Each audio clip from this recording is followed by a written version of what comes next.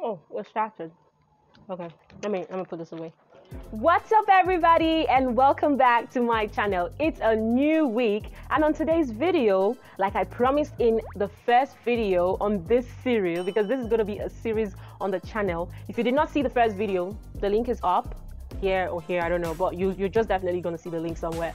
So you have to go back and watch the video. So today I'm going to be telling you how to plan a wedding on a budget. A lot of you know that I just got married. I just got married and I'm looking so, let's forget about all of that. Okay, so I was able to plan my wedding on a budget. And like, you know, things are really expensive, guys. So we are going to learn how to plan a wedding on a budget. If this is what, you definitely would love this. Keep watching. Welcome back guys. If you haven't subscribed to this YouTube channel yet, please subscribe to this YouTube channel. Please give this video a thumbs up. It helps us stay visible. When you give this video a thumbs up, it's going to help the other people see the video. And definitely, you enjoy my content. So just give it a, thumb, a thumbs up. It doesn't take anything from you. Okay, so like I said, we're going to be going through the things we did to be able to have our wedding on a budget. First of all, I'm going to the fact that we didn't want a flamboyant wedding. Now, for those that want a big wedding and can afford a big wedding, please, this content is not for you. But if you have plans to get married and you cannot afford all the big things that you think that you would want to do, then this is for you. All right, so one thing that helped us plan our wedding on a budget was having a destination wedding, okay? If my husband um, spent all his life in Lagos and I spent almost all part of my life because I, have been in different places at different times, but most part of my life was spent in Port Harcourt. If I had gotten married in or had a wedding in Port Harcourt, or we had a wedding in Lagos, we would have, without even stressing it, had up to like 200 guests.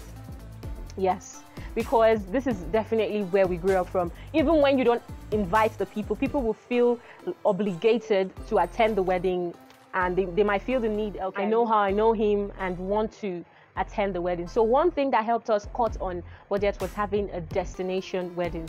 So good good a thing my in-laws they didn't want to travel so far so we decided that okay good let's have a destination wedding so our wedding was in edo state nigeria so one one of it. And funny enough, most people were they even though we moved the wedding to Edo State, we still have a lot of people that came from Port Harcourt and from Lagos that attended the wedding. So imagine if this wedding was to be in any of these two states, then we'd have about more than 200 guests. So having a destination wedding is one way to cut down on your budget.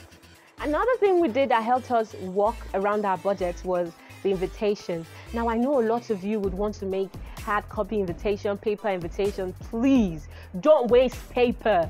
Don't waste paper. So, we didn't even have to contract someone to design the invitation. I think my husband went on Canva and he was able to do the invitation and everything. And immediately, for him, he just sent the invitation to all his contact list. For me, I'm very careful. So I went through everybody that I want I wanted to invite and I sent them the invitation. And when we did, the ones that saw that it was in Edo State, they were like, okay, happy married life, oh, we cannot make it, oh. and we were just smiling. okay, so the next thing that we did to help us work on a budget was no. okay, my husband just said it. We didn't buy designer dresses. As much as our dresses looked really beautiful, like you guys saw in our pictures and everything, it wasn't it wasn't done by any big celebrity designer or anything. We worked with people that we could afford. Now, one thing about us is we can't afford you. We don't do more than we can or try to prove any point. So we work with people that we could afford. And uh, for the pre-wedding, I think um, maybe you you saw some of the inspiration online, right? So um, we saw some inspiration online and decided to get outfits that fits it. Another um, person that helped us with uh, the outfits is uh, my sister.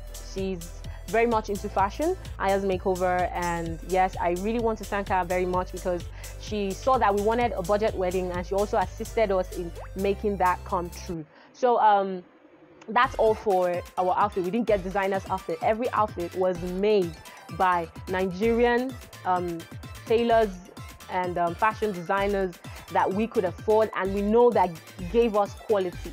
All right. Um, I think one of the most expensive thing we did in our wedding was our clothes because Uh, we wanted it to be great. As much as yes, we didn't want to um, use a design a, a use designers clothes and all of that we were sure that we wanted them to look really good now another thing again that helped us cut on our budget is photography the photography we used um, um, for the pre-wedding we had to do a studio sh uh, shoot because outdoor shoots are very expensive and what we really needed was a picture. So yes uh, deciding to use a studio shoot actually helped us cut down on the expenses. Although yeah we're looking at cutting down on the expenses we also wanted top notch first class.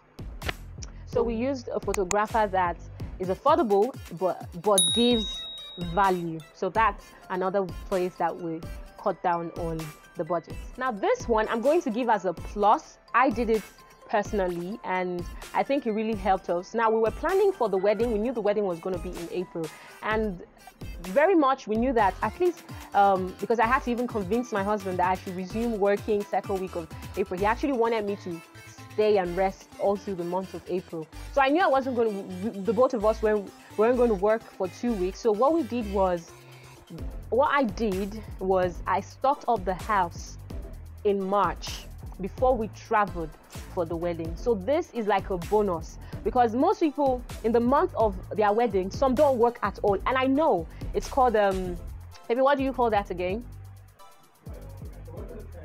Okay, he has forgotten the term. Okay, but I I know it's marriage leave or something like that. So most people don't work for like a month. So what I advise is that you stock up the house the month before. Stock up enough of things that would carry you guys for that month before you are able to start working. So that's what I did that also saved us after the wedding. Okay, another thing we um, did was being firm. We had a budget and we knew the things that were important. We were firm and that meant that even when people call, maybe tell us, okay, let us buy this and buy that, we don't have. Yes, we don't have.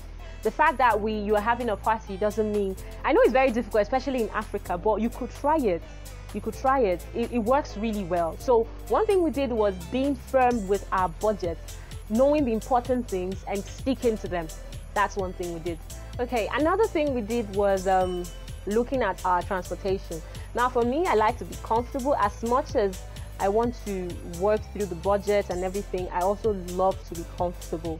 So at first I was looking at um, getting or hiring a cab that's going to take us to Edo State and bring us back stay with us all through the process and everything. Um, but my husband was against it because he felt like that's going to be a whole lot of money, and that's actually true. It was a whole lot of money. So um, we had to use the public transport going and public transport coming. So that's one way we were able to cut down on our budget as well. Okay, now um, the last but not the least was uh, the decoration and cake. Now we were we weren't the one that gave this out it was my mom but she was very particular about the amount that she would be able uh, she, she she's going to spend. And so she did not look for any you know high price designer and all of that. So we had to we only decorated the place where the couple will stay. And for the others we just had to set tents for them to stay in so that's another way we were able to cut down on our budget Okay, so that's um, it all on budget, budget, budget. Okay, so th this is how I was able to plan my wedding on a budget. Now, there are things that are actually not necessary. And as much as you can, like I said, this video is for those that want to get married, but they think that it's actually very, yes, it's expensive, but it's not very, very, very expensive. So this, um, these are the things that we did to help us plan our wedding on a budget. And I believe that if you not exactly because every situation is different, but if you look at it critically and try to pick a thing or two, you can also plan your wedding on a budget. Thank you so much for watching. Do not forget to hit the like button, hit the subscribe button if you haven't.